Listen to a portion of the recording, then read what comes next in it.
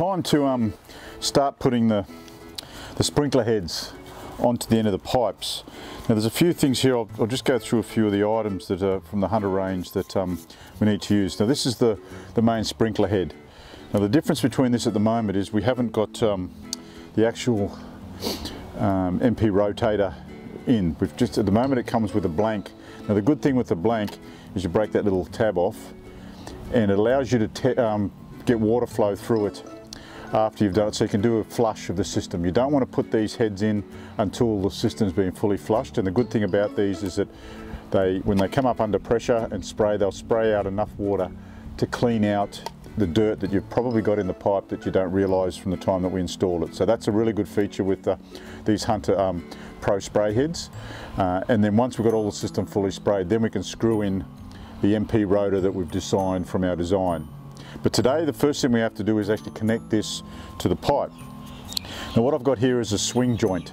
Now the good thing about these swing joints, they screw straight into the bottom of the, of the sprinkler, the Pro sprinkler head. And the nice thing about these is, is, that they give you some ability to adjust the height. Now you want the, the head just below the surface of the grass so it doesn't get caught when you're mowing, but you want it pretty much flush. So this, this joint gives you the ability to, to adjust the head up and down um, and a little bit of movement in it so that you can get it just right. If you were to fix that straight onto the pipe itself, you wouldn't have that flexibility. And also over time, you may find that you've got to add soil to the, to the ground, which could adjust the height. And you may have to lift this up in a few years time, for example. And this joint allows you to do that a lot more simply. So that's the job we do now. We want to cut the pipe to join this onto the pipe and get the head right where we want it. And then after that, once we've got all the heads in, we can then flush them using this particular um, head type before we put the MP rotator in.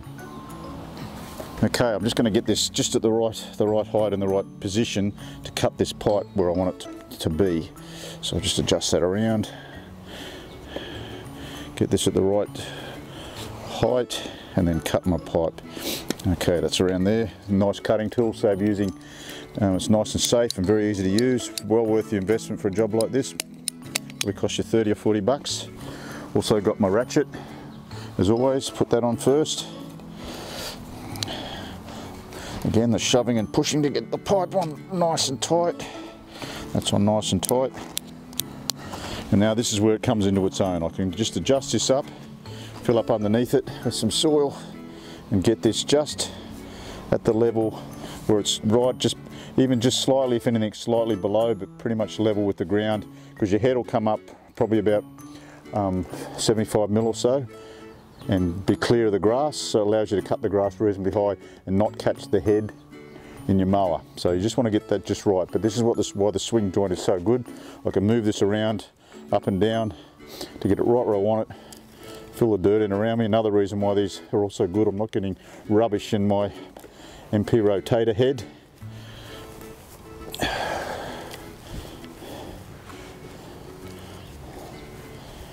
Fill this back in here with a bit of dirt.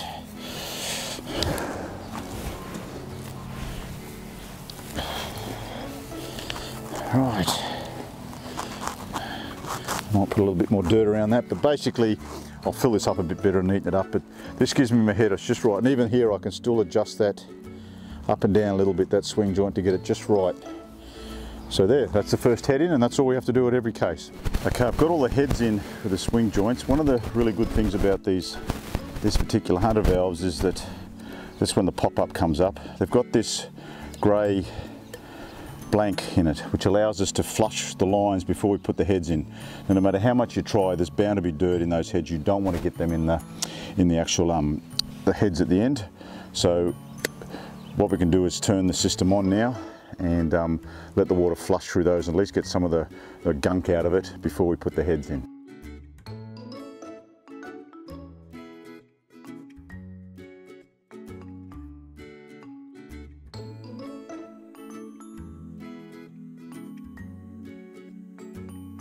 Now it's time to put the correct head in the correct position from your design. The three different head types can be adjusted from 90 to 210 degrees, 210 degrees to 270 degrees, or fixed at 360 degrees. Each head has a notch near the top.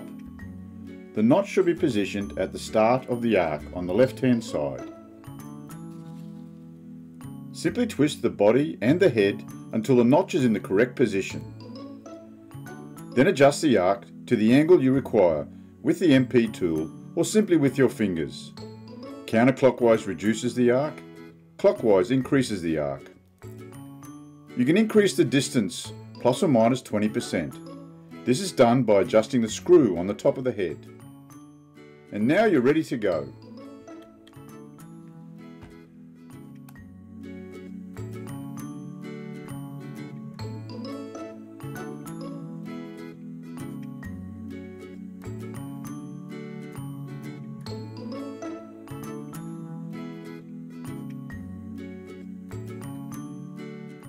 This video was helpful, you can get a lot more information on our website, completelandscapes.co.nz, or check out other videos on our YouTube channel.